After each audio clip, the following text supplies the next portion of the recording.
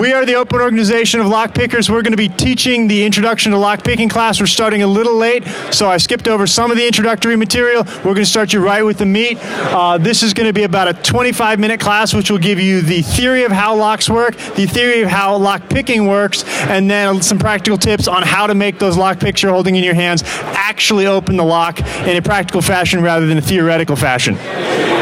Uh, I'm going to try to answer all of your questions as I go. Um, I, am hoping to preempt most of them. If you do have questions, hold them to the end, and we'll either answer them at the end or send you over to the tables where you can get the one-on-one. Uh, and if you're having, having any trouble hearing me, just wave your hands wildly in the back, and I'll try to modulate that. Uh, to start off with, we are the Open Organization of Lockpickers, which means we are ethical hackers. We teach ethical lockpicking. The way we do that is by following these two rules. One, do not pick locks which you do not own. Variety of reasons for that. First, it's an optics problem. A lot of people think lockpicking is either, illegal or immoral. It is, in most cases, neither. Um, since we teach ethical lockpicking, that's legal everywhere. Um, if you're picking locks which you do not own, you risk the uh, you run the risk of committing burglary if you succeed. So don't pick locks you don't own because it doesn't look good and you could accidentally break the law.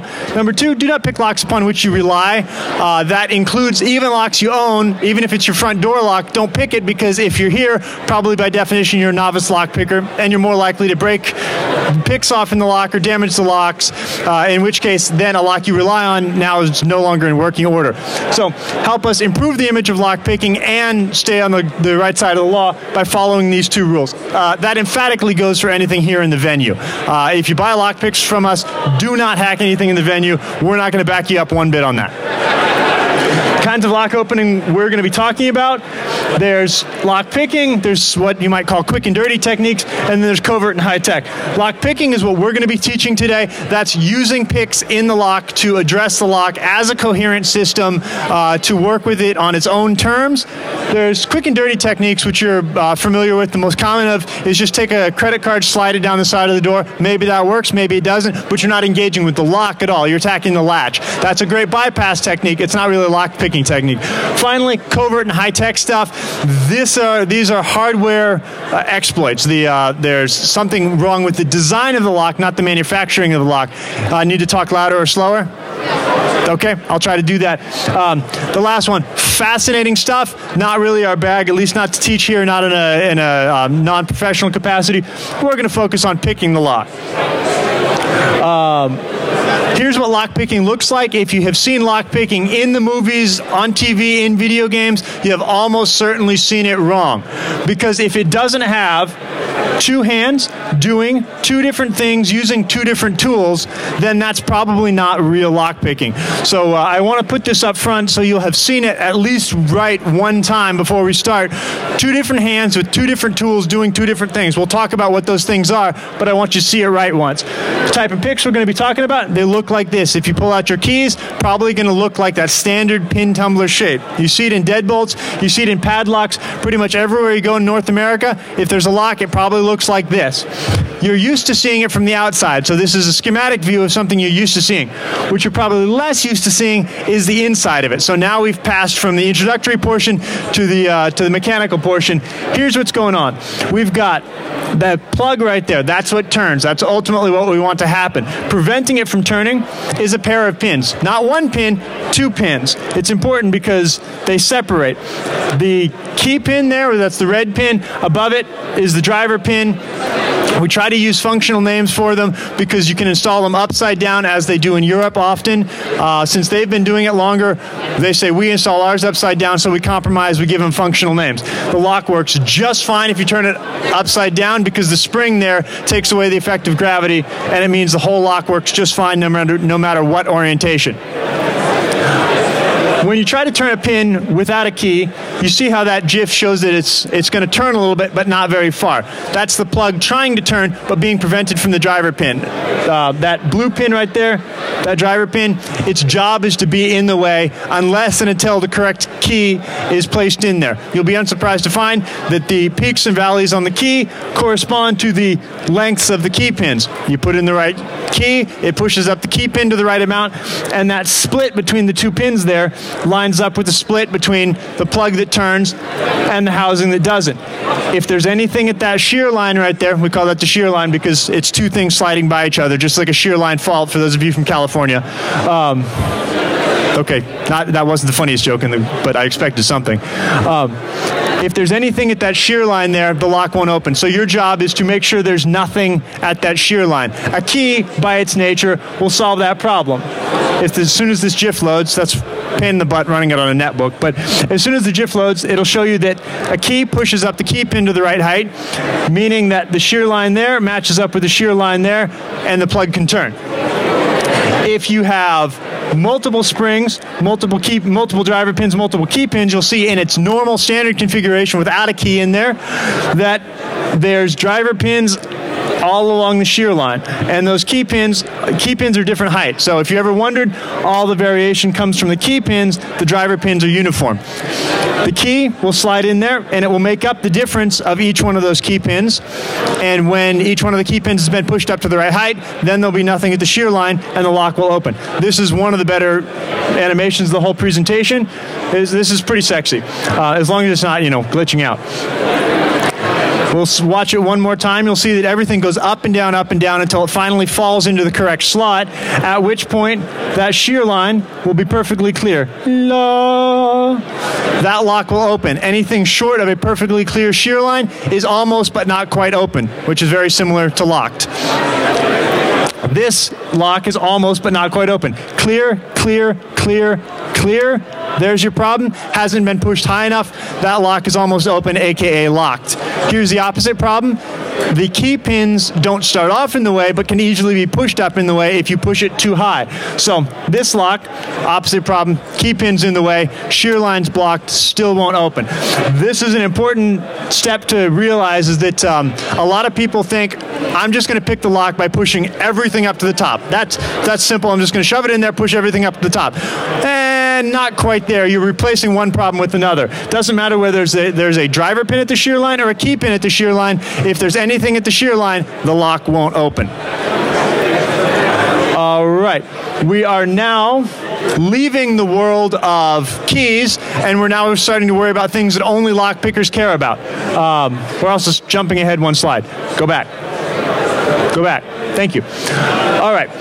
This is an example of a perfect world. We do not live in such a world, but I want you to think about it for a second. In a perfect world, those holes in the top of the plug, that's a top view of the plug where the, the holes have been drilled in the brass, those holes would be perfectly aligned, laser aligned right down the center. So what would happen if you tried to turn that plug without a key? It wouldn't open because you got the driver pins in the way doing their job as driver pins. Each driver pin's job is to be in the way, and each and every one is doing their doing their job, working together to keep the plug from turning. Because they're all in line, every time you turn it, each and every one of those gets pinched on the shear line. The lock doesn't open. In fact, the lock doesn't budge at all. However, that's a perfect world. We don't live in such a world. We live in the real world. In, in, the real world, you can see that these are not perfect holes by any stretch, and more importantly, they're not perfectly aligned down that center line.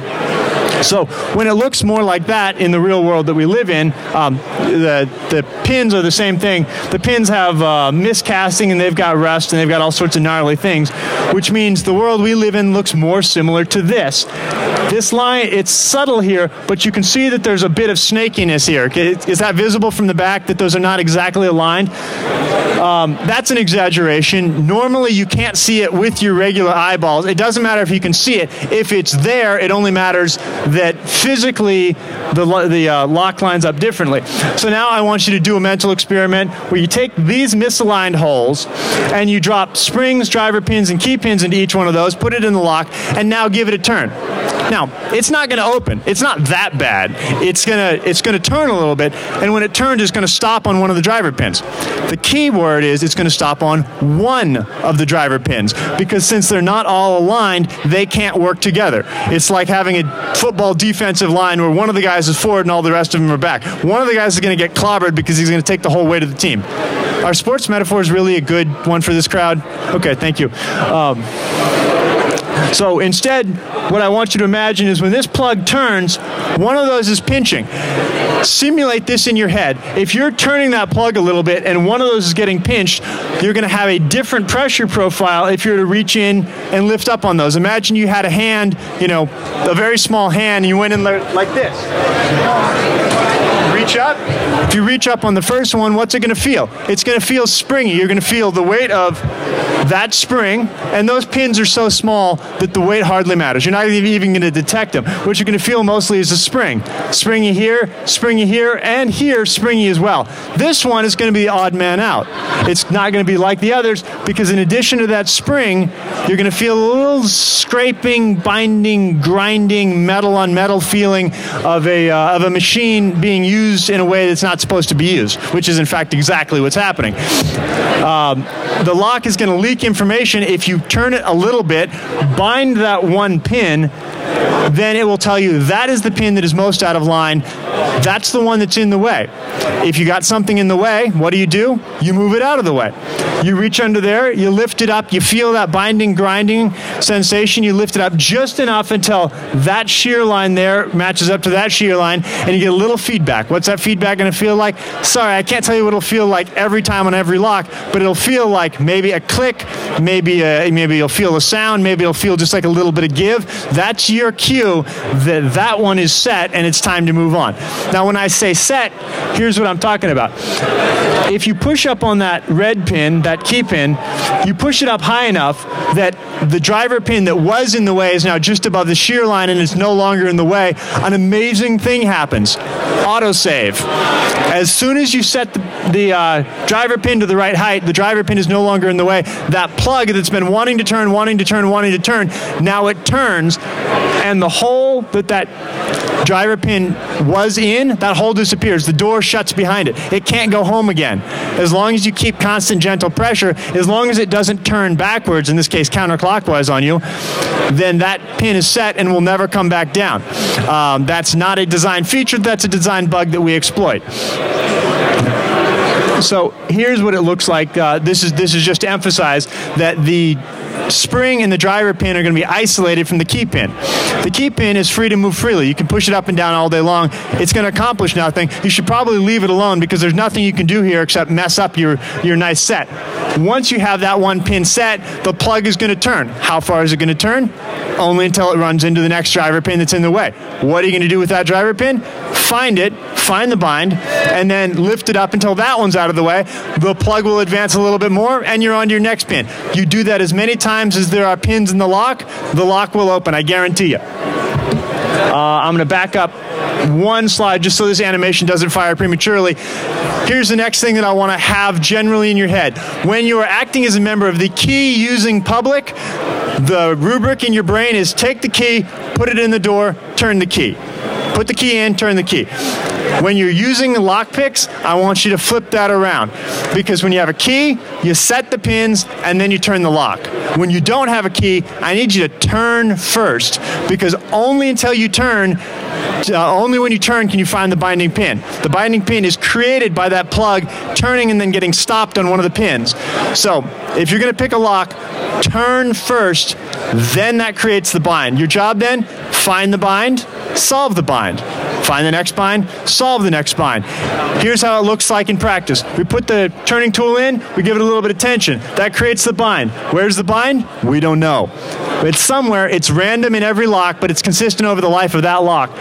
Now we're looking for the bind. We weigh each one of those. What are we feeling for? Is it springy or is it something other than springy? Is it scrapey? Is it binding? Is it grinding? Is it catching? Call it whatever you like. 50 50 discrimination. Is it springy or is it not springy? Find the one that's binding, push it up to the right height until it gives, gives you a click, gives you some kind of feedback. Don't push it too far, and then move on.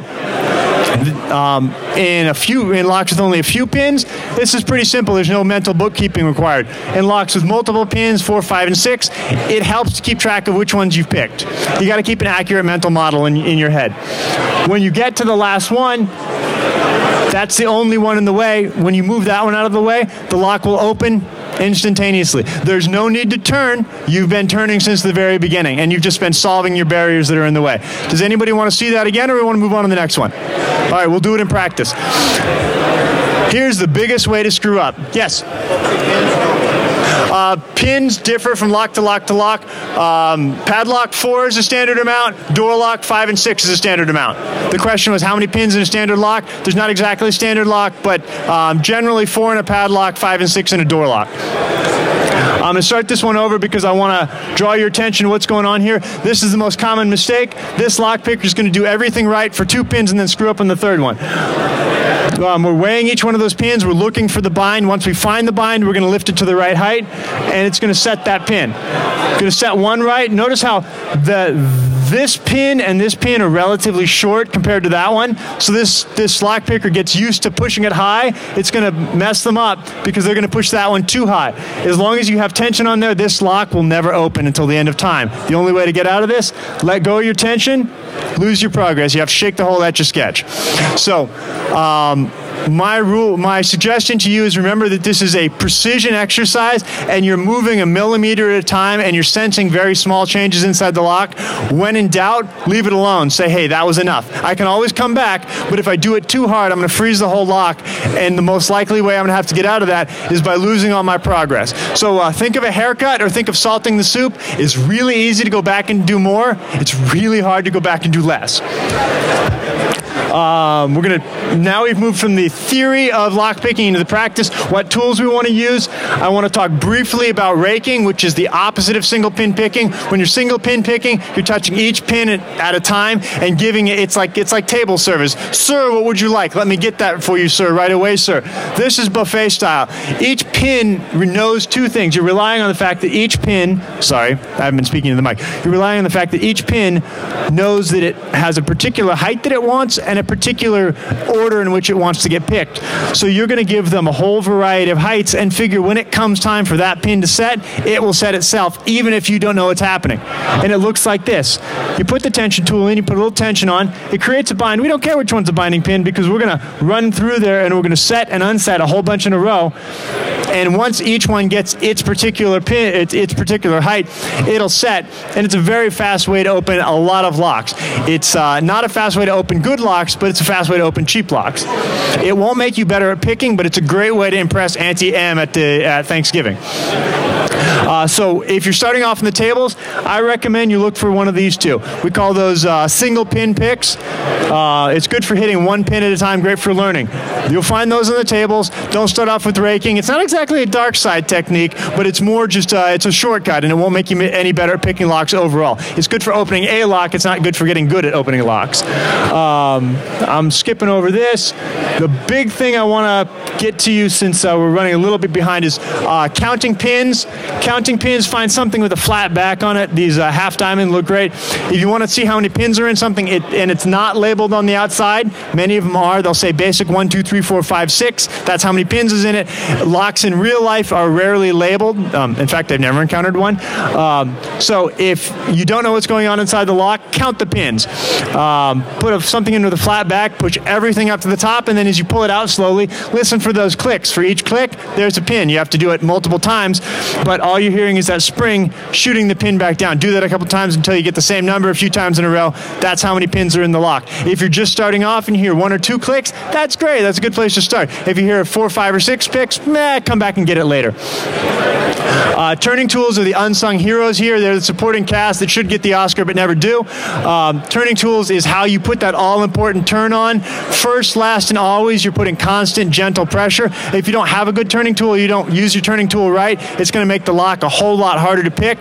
The chief way that people make the lock harder to pick is by putting too much tension on here. Again, this is a precision exercise, so I encourage you to do what you can to put less tension. This is the wrong way to do it. You would know that even if I wasn't up here telling you because of the infomercial rule. It comes first, and it's in the black and white one. This is the person who can't boil water and needs a snuggie because they don't know how to use a blanket. Don't be this guy, and you tell it's a guy because he chews his fingers. Um, instead of using your big fat thumb and pulling, which is an inaccurate way to deliver force, I want you to use a precision digit like your index finger and wrap it around the lock and push. You can push up here, but you can push even better by going very lightly out on the end. And when you're out on the end there, principle of leverage means that you can very, use a very light tension to get the same amount of push, and it doubles the feeling of any response that you get from the lock. A little jiggle down here will be magnified, and you get that much more sensation. Since this is a precision exercise, you want all the data you can get. Good turning tool pressure looks like this. Barely a dent in the finger, but the finger looks all healthy. If you're pushing down so hard that you're defeating your capillary refill and your finger's turning white, that is not only too hard, that is far, far too hard. Because remember, all the push you do there gets translated down to there. All the turning that gets there gets translated into the single pin that you're trying to move. So this is standing on something that you're trying to move. Please don't do that. Uh, it'll be frustrating to you because you won't be opening locks and you'll be more likely to bend the tools. Uh, we're going to skip over that. Uh, that's what turning tools look like. Again, they don't look fancy, so people forget about them, but they're key. Um, we're going to skip that, skip that. Um, on our tables, most lock open, most locks open in most directions. In real life, you're a little more constrained, but we try to make it easy for you. Uh, padlocks tend to open to the right. Uh, some Schlags, they open right. Other uh, pa- uh, key and knobs open to the left. Again, anything on our tables probably doesn't matter. If you have any questions, ask. Or just try to pick it and see if you meet with success. Uh, but turning direction tends to be uh, tends to be clockwise uh, unless there's countervailing reason to go other ways. Um, as I said, they're labeled on the tables. These aren't labeled. I can tell you, or you can uh, try it, and I will confirm how many's in there. You can learn how to count pins. Uh, uh, this is new. Uh, the silver part is the front part. Um, and the uh, the brown part was sort of the puckering. That's the back. Uh, if you're just starting off, I recommend going in the front. Um, oh, we're frozen. We'll make it. Uh, while I'm vamping, any questions? Oh, good. I've tried to answer all of them. Um, oh, that's that's cute. Give me a second.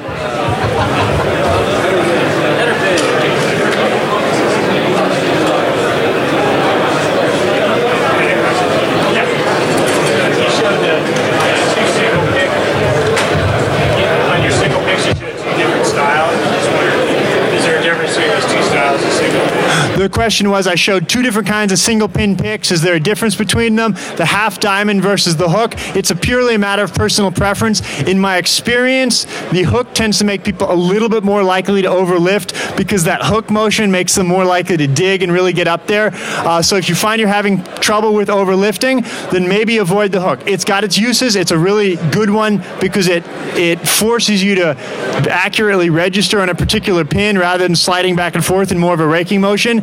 Um, so they've got their strengths and weaknesses. But if you find you're having trouble staying on a particular pin, then gravitate toward the hook. If you find you're having trouble with overlifting, then gravitate toward the uh, half diamond. Uh, here's the exercise I want you to do if you're just start, just starting off. This is really worth the price of admission here. I want you to find one that says basic one on it. This is exactly what it looks like inside. It's got a spring, a driver pin, and a key pin. Don't put any tension on. I know I said when you're picking a lock, start with the tension. You're not picking it just yet. I want you to get the feel for it. Reach in there with a uh, pick. It'll you know either one, either the uh, either the hook or the half diamond, and just lift up on that pin. You're not trying to open the lock right now. You're not turning the lock. All I want you to do is feel what that pin feels like when you're lifting up on it. What's the spring feel like? Where is it? What's the weight feel like? Get that in your head because then I want you to put tension on and lift it again. And you got that 50-50 differential between uh, which one, what's the pin feel like when it's not under pressure versus when it is under pressure. You could think of it as what's it feel like when it's springy? What's it feel like when it's scrapey? If you can make that discrimination, then you can pick the lock much more reliably. Once you put the tension on, then of course lift it up. Then of course lift it up. There we go. Once you lift it up to the right height, the lock will open instantly. Congratulations, that's what that counts as a lock, but a very simple lock. Do it again and get used to that feeling. Um, this is the time when I take a moment out to editorialize and say, I've been lying to you a little bit. The reason I've been lying to you is I've been implying that you'll be able to feel that discrimination all the time right off the bat. It takes a lot of practice. It's very subtle. It will probably be below your noise threshold most of the time when you start off. This is about lowering your noise threshold. In the meantime, you will still be able to pick locks by lifting gently up on each pin. As long as you don't lift too high and freeze the whole system, you'll be able to pick a lot of locks just by lifting them up a little bit. So even if you find yourself in a fog and blind and don't know which is the right pin, try lifting gently on each one and you'll be able to pick a lot of locks that way. But the whole time you're doing that, be attentive to what feedback you're getting. Is this one more springy or more scrapey? Did I feel it set? Uh, I don't want you to get frustrated just because you can't feel the bind at any given time, but I want you looking out to see when you do feel the bind, be excited because that's that's your sign that you're becoming a more proficient and uh, and uh, methodical picker. Finally, I want to bring your attention to um, this, which is the most common way that people actually affect the pins inside. The question that people ask me is, Preston, you told me what I'm supposed to do inside the lock. What do I do outside the lock to make that happen? And the answer is, it doesn't matter. You can hold the pick any way you want. You can stand on your head if you want, as long as inside the lock, you're able to make small, controlled moves and get feedback out. This is the most common thing that happens is they kind of put it down along the bottom of the lock, maybe rest it on their finger, and they're kind of doing this, this rocking lifting, this digging motion. That's fine as long as rocking lifting doesn't turn into crowbarring. If you're putting too much pressure on the lock, if you if you're you're pushing too hard, then you're locking down the whole system and you're really having to dig at that pin. And eventually it means that you're going to start bending the pick. And then the pick is useless. We have to throw it away, replace it, and it costs more to run these things. So uh, for your own benefit as lock pickers and for our benefit as people putting on these events, please take the kiddie's advice, relax, chill out, talk to some people, distract yourself a little bit. And if you find you're having some trouble, try loosening your tension. And when you finally do get it, I want you to say open. Say it out loud, say it proud, no matter which lock you're on. Every lock open is a success. Take a moment, celebrate that, and then once you get it, go back and do that same one again so that you know you've got it. Um, and since I just killed the presentation, I think that's the end anyway. If you've got any questions, I'll be circulating around here afterward, or you can find anybody in a black shirt to ask questions to. Once again, we're the Open Organization of Lockpickers. I'm Preston. Thank you so much for coming.